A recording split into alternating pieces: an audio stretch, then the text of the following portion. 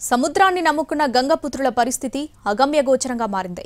June పద్నాలుగు నుంచి వేట పునఃప్రారంభమైన మత్స్యకారులకు కాలం కలిసి రావడం లేదు.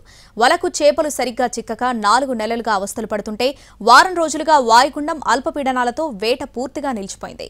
చేసేదేం లేక అప్పులతో కుటుంబాలను పోషించుకుంటూ కాలం వెళ్ళిబుచ్చుతున్నారు. సముద్రాన్నే నమ్ముకున్న గంగపుత్రులకు వేటే జీవనాధారం. గత కొన్నాళ్ళుగా వాతావరణ పరిస్థితులు మత్స్యకారులకు సవాల్గా మారాయి. ఏడాదిలో నాలుగు నెలలు తప్పితే మిగిలిన రోజుల్లో వేట అంతంత మాత్రంగానే సాగుతోంది. ఉమ్మడి ప్రకాశం జిల్లాలో డెబ్బై నాలుగు కిలోమీటర్ల మేర సముద్ర తీరం విస్తరించి ఉంది.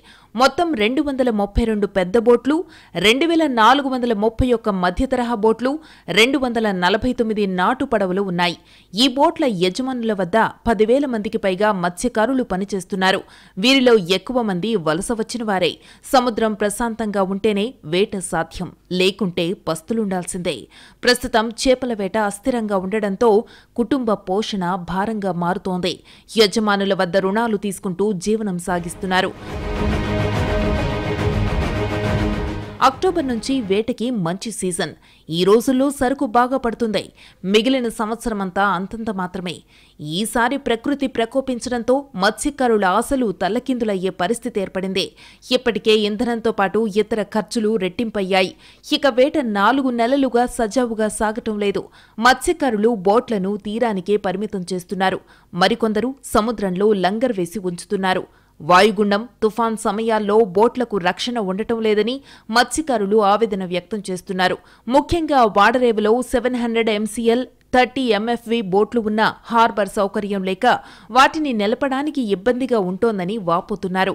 కొందరి బాధ పడలేక తీరానికి తెచ్చిపెడుతున్నారు. దీంతో బోట్లు దెబ్బతింటున్నాయి.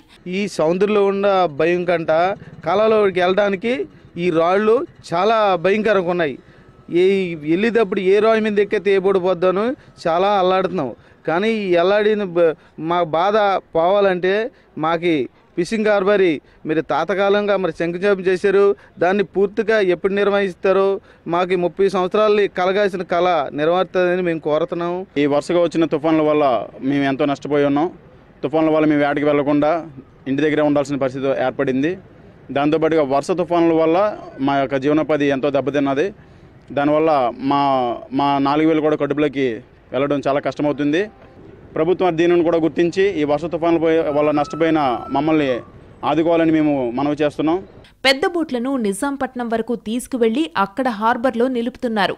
జిల్లా వ్యాప్తంగా ఇక్కడ ఒకచోటే హార్బర్ ఉండడంతో అందరికీ చోటు లభించడం లేదు. సమస్య నివారణకు వాడరేవు వద్ద మంజూరైన హార్బర్ నిర్మాణం పనులు మొదలు పెట్టాలని మత్స్యకారులు కోరుతున్నారు. అన్ని వర్గాల మాదిరిగానే ప్రభుత్వం తమని ఆదుకోవాలని మత్స్యకారులు కోరుతున్నారు.